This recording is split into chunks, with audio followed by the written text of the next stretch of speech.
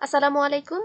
আজকে আলোচনা করব জন ড্রাইডেনের ফেমাস পোয়েম ম্যাকফ্ল্যাকনো এটি মক হিরোইক স্যাটায়ার এই পোয়েমটি টমাস শ্যাডোয়েলের উদ্দেশ্যে জন ড্রাইডেন লিখেছেন এবং এই কবিতাটি ষোলোশো আটাত্তর সাথে সালে লেখা হয়, প্রকাশিত হয় ষোলোশো বিরাশি সালে। এই কবিতাটি খুব ইন্টারেস্টিং একটা পোয়েম এবং এই কবিতা সম্পর্কে জানার আগের ব্যাকগ্রাউন্ডটা জানা এসেন্সিয়াল টমাস শ্যাডোয়েল এবং জন রাইডেনের মধ্যে সবসময় একটা লিটারারি ফাইট চলতে থাকতো। ফার্স্টে জন রাইডেন, টমাস শ্যাডোয়েলের উদ্দেশ্যে Absalom and Achitophel and the medal এই দুটি পয়েম লিখেন। এগুলোর মধ্যে দিয়ে তাকে অ্যাটাক করা হয় এবং পরবর্তীতে Thomas Shadwell the medal of John Bayes এটা লিখেন রিপ্লাই হিসেবে। পরবর্তীতে আবার জন রাইডেন ম্যাকফ্ল্যাকনো পয়েমটি লিখেন। এখানে ম্যাকফ্ল্যাকনো মানে হচ্ছে সান অফ ফ্ল্যাকনো আর ফ্ল্যাকনো হচ্ছে কিংডম অফ ডালনেসের রাজা। আর সান অফ ল্যাকনো বলতে টমাস শ্যাডোয়েলকে বোঝানো হচ্ছে। এই পয়েমটি হিরোইক কাপলেটও ব্যবহার করা হয় এবং এর সাবটাইটেল হচ্ছে a satire upon the true blue Protestant poet TS এখানে টিএস মানে হচ্ছে টমাস শ্যাডোয়েল আর ব্লু বলতে বোঝানো হয় ট্রায়োকে ট্রায়ো মানে হচ্ছে সাপোর্টার অফ মোনার্কি যারা রাজাদেরকে সাপোর্ট করতো। একসময় টমাস শ্যাডোয়েল ট্রায়ো সাপোর্টার ছিল পরবর্তীতে তিনি উইক জয়েন করেন মানে সাপোর্টার অফ পার্লামেন্ট অন্যদিকে জন রাইডেন ছিলেন সাপোর্টার অফ মোনার্কি মানে তিনি রাজাদেরকে সাপোর্ট করতেন। একসময় তারা খুবই ভালো বন্ধু ছিল, হয়তো কেন তাদের মধ্যে দূরত্ব আসে তা জানা যায়নি। হতে পারে তাদের যে পলিটিক্যাল তাদের যে মত, মতের পার্থক্য ছিল, এই কারণে হয়তো তাদের মধ্যে শত্রুতা সৃষ্টি হয় এবং এর সূত্র ধরেই তাদের মধ্যে এই লিটারারি ফাইটটা চলতে থাকে। তাহলে শুরু করি পয়েমটা all human things are subject to decay and when fate summons monarchs must obey এখানে হিউম্যান থিংস মানে হচ্ছে যতগুলো হিউম্যান মানুষের যা কিছুই আছে সব কিছু কি ধ্বংস হয়ে যাবে? হোয়েন ফেট সামন্স বলতে মানে ভাগ্য যখন ডাক আসবে, এখানে মৃত্যুর কথাই বলা হয়েছে। মোনার্কস মানে রাজা রাজার সকলকেই সেই ডাককে শুনতে হবে। মানে মৃত্যু যখন আসবে, সবকিছু ধ্বংস হয়ে যাবে এবং সে রাজা হোক বা সাধারণ মানুষ যেই হোক না কেন সকলকে এটা মানতে হবে। The Flecknoe found who like Augustus young was call to empire and had govern long এখানে ফ্ল্যাকনো মানে হচ্ছে যে ডালনেসের রাজা, সে হচ্ছে অনেকটা অগাস্টাসের মতো। অগাস্টাস হচ্ছে জুলিয়াস সিজারের নেপিউ সে খুবই ছোট বয়সে রাজ্যে সিংহাসনে বসেন। কারণ হচ্ছে জুলিয়াস সিজার যখন মারা যায়, তখন অগাস্টাসকে সিংহাসনে বসানো হয় এবং তিনি তার পড়াশোনা সবকিছু ছেড়ে তিনি সিংহাসনে বসেন, কিন্তু তার কোনো যোগ্যতাই ছিল না। ঠিক তেমনি ফ্ল্যাকনিও কি, উনি হচ্ছেন ডালনেসের রাজা। তিনি মানে কাব্য জগতের যে ডালনেস আছে, তার রাজা ছিল। কোনো প্রকার জ্ঞান ছাড়াই তিনি সেখানে অনেকটা সময় গভার্ন লং মানে হচ্ছে অনেকটা সময় সে রাজ্য শাসন করেন। In prose and verse was owned without dispute মানে গদ্য এবং পদ্যের ক্ষেত্রে, পদ্যে তিনি কোনো প্রকার বিতর্ক ছাড়াই সেখানে তিনি শাসন করেছেন through all the realms of nonsense absolute এখানে বলা হচ্ছে মানে যাদের বুদ্ধি কম ফ্ল্যাকনো ছিল যে তাদের রাজা। এবং অ্যাবসোলিউট রিল্যাম মানে হচ্ছে রাজ্য মানে ফ্ল্যাকনো হচ্ছে যাদের নিবুদ্ধিতা বা ডালনেসের ডালনেসের রাজা ছিল। His this age prince now flourish in flourishing in peace and blessed with issue of a large increase এখানে বলছে যে এইচ প্রিন্স মানে হচ্ছে যে বৃদ্ধ রাজা, খুবই প্রসপারিয়াস ছিল। ফ্লোরিসিং ইন পিচ বলতে বোঝানো হচ্ছে তিনি খুবই জীবনে অনেক গৌরব অর্জন করেছেন, অনেক প্রসপারিয়াস হয়েছেন, এবং কি তার অনেক সন্তানও ছিল। Worn out with business did at length debate to settle the succession of the state এখানে বলা হয় যে, এখন কি মানে অনেকটা সময় শাসনের পর তিনি এখন চিন্তা করছেন যে এখন তো একজন নতুন রাজার প্রয়োজন। কে হবে এই স্টেটের রাজা? এটাই উনি চিন্তা করছেন তার এতগুলো সন্তানের মধ্যে কে এই ডালনেসের রাজ্যের জন্য ফিট হবে? মানে কার বুদ্ধি সবচাইতে কম? And pondering which of all his sons was fit to reign and wage immortal war with with এখানে বলছে যে তিনি তখন চিন্তা করতে থাকেন যে তার কোন সন্তানটি এই রাজ্য শাসনের জন্য ফিট হবে।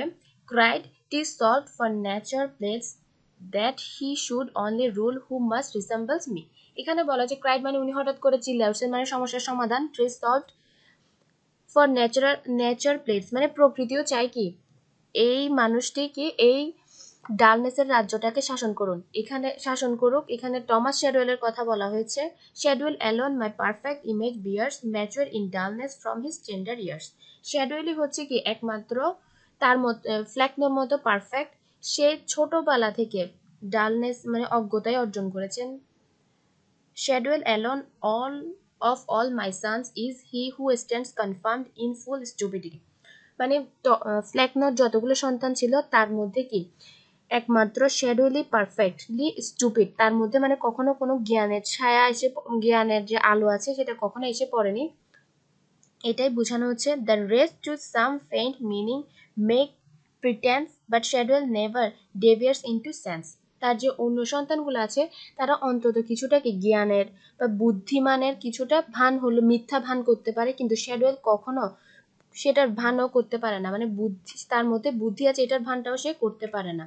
Some beams of with on other souls may fall strike through and make a lucid interval এখানে বলছে যে, তার যে অন্য সন্তানগুলো আছে, তাদের মধ্যে হয়তো তাদের জ্ঞানের যে অন্ধকার রয়েছে, তার মধ্যে হয়তো কিছুটা আলোর ছায়া এসে পড়তে পারে এবং তারা হয়তো মাঝে মাঝে strike through and make a lucid interval দ্বারা বোঝানো হচ্ছে, হয়তো তারা মাঝে মাঝে কিছুটা ভালো লেখা বা কিছুটা জ্ঞানের কথা তারা বলতে পারতো, কিন্তু শ্যাডোয়েল তাও পারতো না।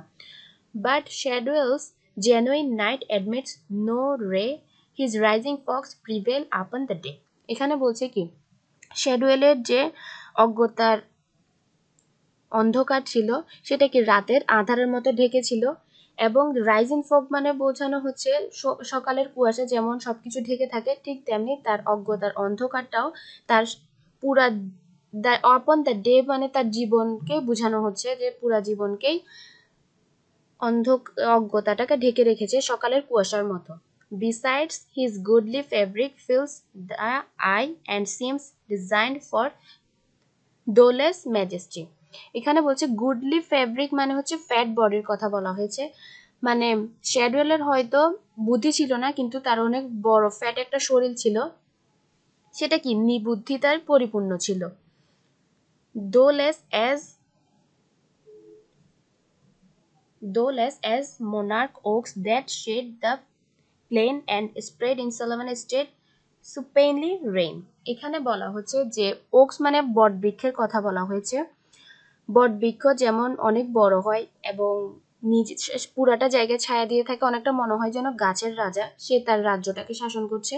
ঠিক তেমনি spread in solemn state supinely reign শ্যাডোয়েলও ঠিক তেমনি কি করছে? তার যে নিবুদ্ধিতার রাজ্য আছে, সেটা কোনো প্রকার জ্ঞান ছাড়াই সেটাকে শাসন করছে, এটাই বোঝানো হচ্ছে। এখানে তাকে বটবৃক্ষের সাথে তুলনা করা হয়েছে। বটবৃক্ষ যেমন বড় হয়, কিন্তু কোনো কাজে আসে না।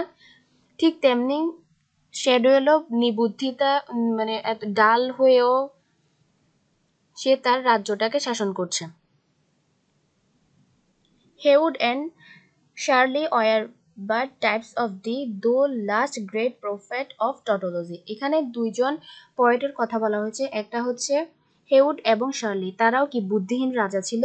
Thou last great prophet of tautology তারা মানে টটোলজি মানে বলতে বোঝানো হয়েছে তারা যে আননেসেসারি কথার রিপিটেশন করতে থাকতো।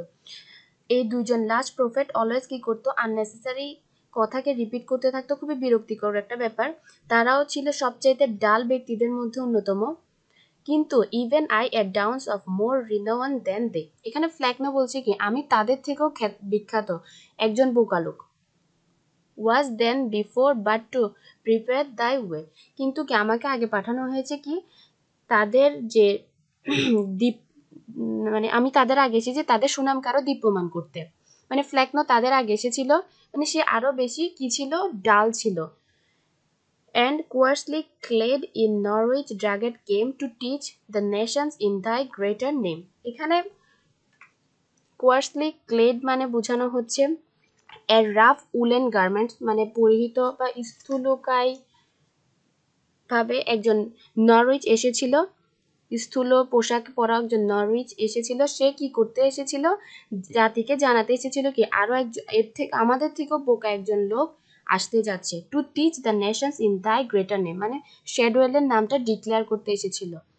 My warbling lute the lute I whilom strung when to King John of Portugal I sung এখানে ফ্ল্যাকনোর কথা বলা হয়। ফ্ল্যাকনো একসময় কি লন্ডন ভিজিট করেছিল, সেটা এখানে মেনশন করা হয়। তখন যে রাজা ছিল, তিনি তাকে খুবই সাদরে, তাকে নিয়ে যায়, খুবই খাদের যত্ন করে। এবং সেখানে ফ্ল্যাকনো কি করেছিল? তিনি তার যে কবি গান ছিল, সেসব করেছিল। Was but the prelude to that glorious day এবং সেখান থেকে কি তার যে গৌরবময় দিনের সূচনা হয়েছিল মানে ফ্ল্যাকনোর গৌরব দিনগুলো সেখান থেকে শুরু হয়েছিল। When thou on silver Thames ডিডেস্ট কাট দাই ওয়ে এবং তারা কি করেছিল? যে ট্যাম্পস নদীতে ছিল ট্যাম্পস নদীতে সেখানে মানে ফ্ল্যাকনো রূপালি ট্যাম্পস নদীতে ভ্রমণে গিয়েছিল with well timed oars before the royal barge এবং সারিবদ্ধভাবে রাজ যে নৌযান থাকে রাজ নৌযান সেগুলো ছন্দবদ্ধ হয়ে দ্বারের তালে তালে চলছিল। Swelled with the pride of thy celestial charge এবং কি তারা সকলে কি করছিল? পার্থিব জীবনে যেন অপার্থিব ধারা নেমে এসেছিল মানে তারা সকলে গান করছিল এবং ফ্ল্যাকনো ছিল তাদের লিডার তখন তাদের গান শুনে মনে হচ্ছিল কি, পার্থিব জীবনে অপার্থিব ধারা মানে নেমে এসেছিল। অনেকটা মানে স্বর্গীয় ব্যাপার সৃষ্টি হয়ে গিয়েছিল। And but and but and big with hymn commander of an host এখানে বলা হচ্ছে যে কি, তারা সকলে কি, যে রাজা ছিল, সে রাজার বন্দনা করছিল। ফার্স্ট পার্টে এখানে বলা হয় যে